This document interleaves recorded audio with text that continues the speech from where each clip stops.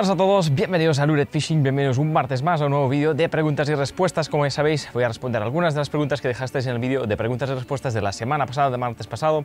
Así como siempre os animo a hacer lo mismo en este vídeo, a dejar en los comentarios de este vídeo todas las dudas y preguntas que tengáis para el próximo vídeo de preguntas y respuestas. Muchas gracias a todos como siempre por el apoyo, por todas las preguntas que dejáis. Y sin más, vamos ya con las preguntas. Bien, hoy me he centrado en elegir preguntas que tienen muchos me gustas, también otras que me han parecido simplemente interesantes, como hago siempre, pero en concreto algunas que quiero responder por eso, porque tienen muchos me gustas y parece que interesan a bastante gente. Y empiezo con una pregunta de Admin Black Sheep, que me comenta que su hijo Oriol se fijó en que cuando pescaba mosca en el blog de hace un par de semanas, estaba utilizando grapas que no son específicas para mosca y en cambio cuando pesco a rock fishing sí que utilizo grapas que son específicas para pesca mosca. Bien, en este caso no tiene un porqué en concreto, simplemente es porque llevaba de los dos tipos de grapas realmente, las que visteis que utilizaron en el vídeo, que son grapas normales de toda la vida, pero en este caso son tamaño, creo que es 000 de Bass Day, o sea, un tamaño súper, súper pequeño. Y bueno, escogí esas porque creo que pesan incluso menos que las Mustad que utilizo normalmente para pescar rock fishing. Simplemente cogí esa prácticamente al azar. Bien, y ahora voy con una de estas preguntas que os comentaba que tienen bastantes me gustas. En este caso voy con una de Andrés Grama que me pregunta si algún día subiré, vídeo supongo, pescando sepias. Bien, esta pregunta se repite, pero muchísimo en todos los vídeos de preguntas y respuestas.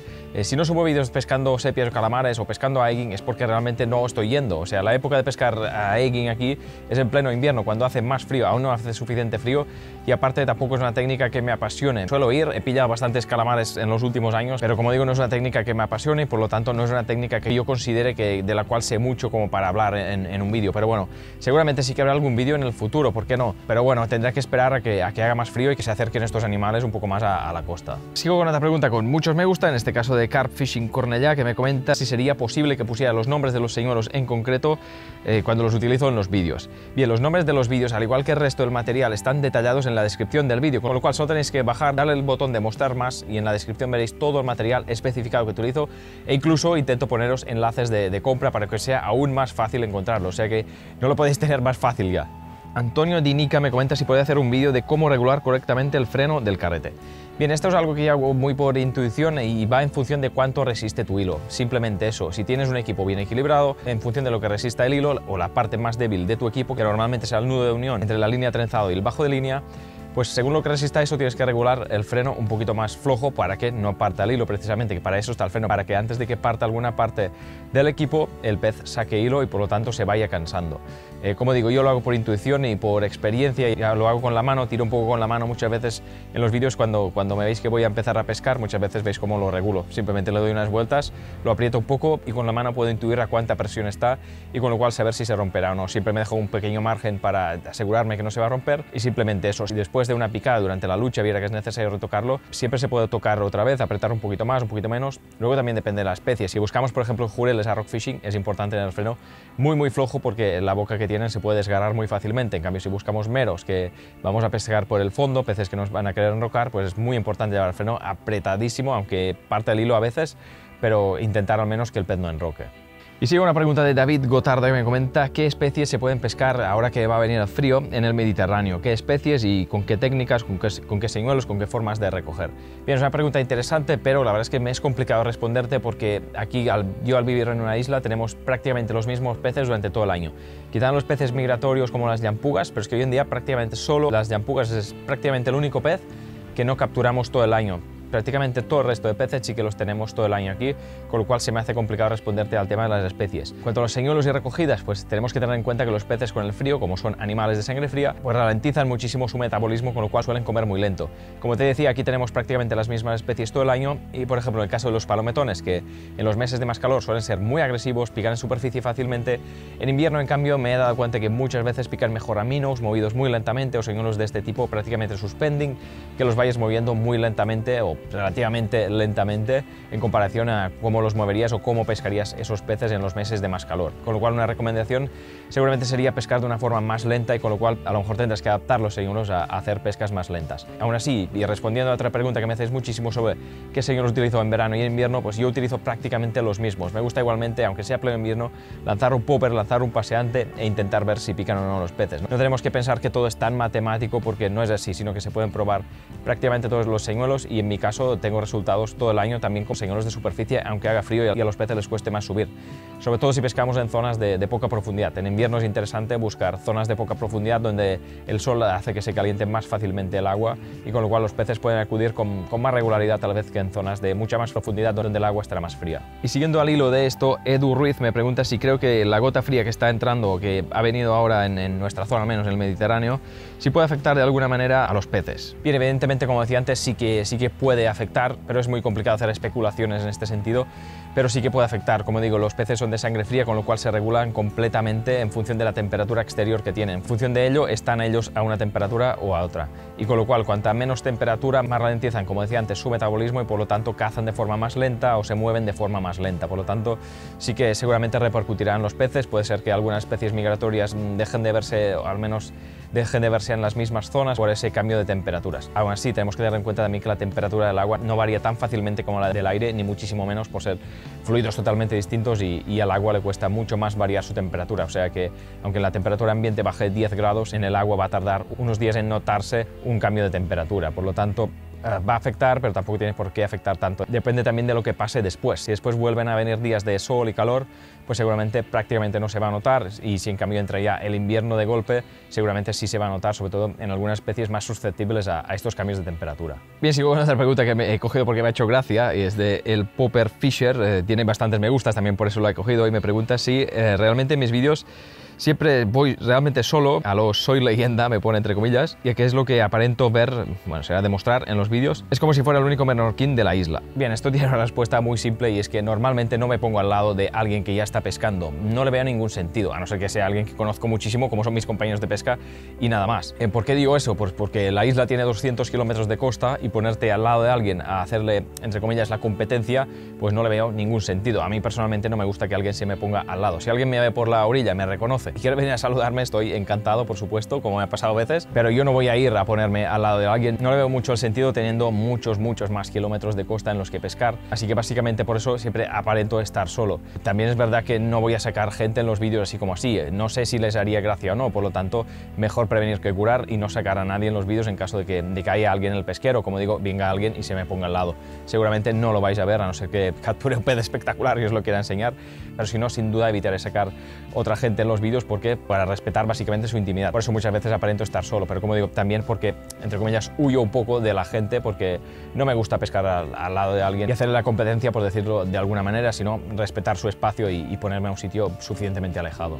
Sigo con otra pregunta de Gerard Villanova que me comenta por qué ya no marco ni mido los peces en el momento de soltarlos.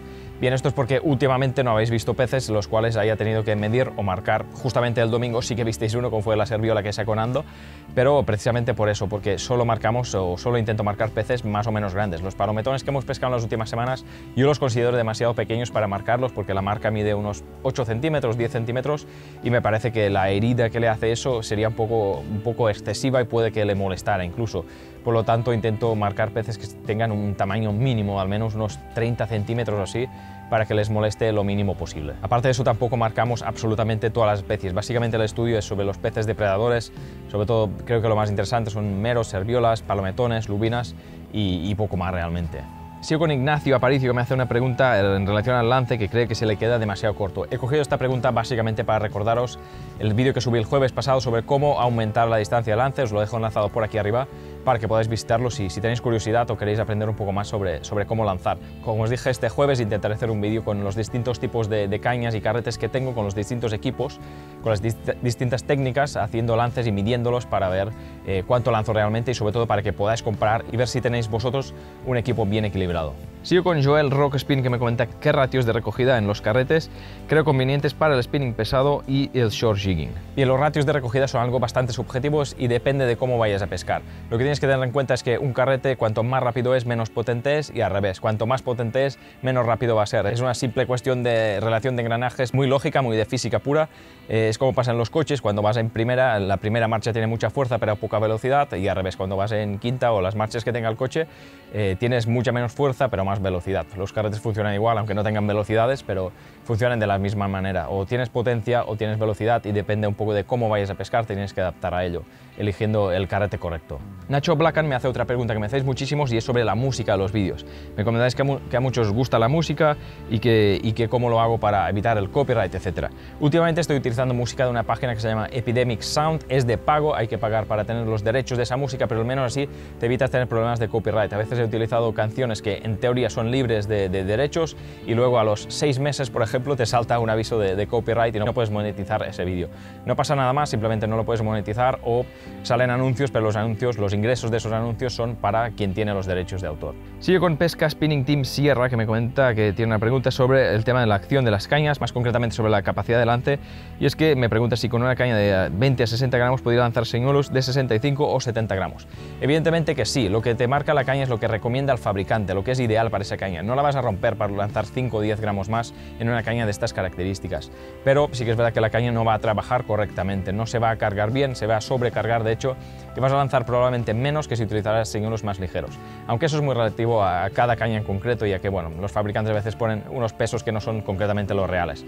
Si te fijas también una caña de 20 a 60 gramos, por lo general, a no ser que sea una caña de muy alta gama, no te va a lanzar bien muchas veces ni 20 ni 60 gramos, sino que será un peso más o menos intermedio lo que lanzará más correctamente. Pero no pasa nada si te sobrepasas un poco con el peso de los señuelos. Y acabo una pregunta de Sergio Hernández Mateo que me cuenta qué me parece la marca Yokozuna, qué señuelo de esa marca le recomendaría.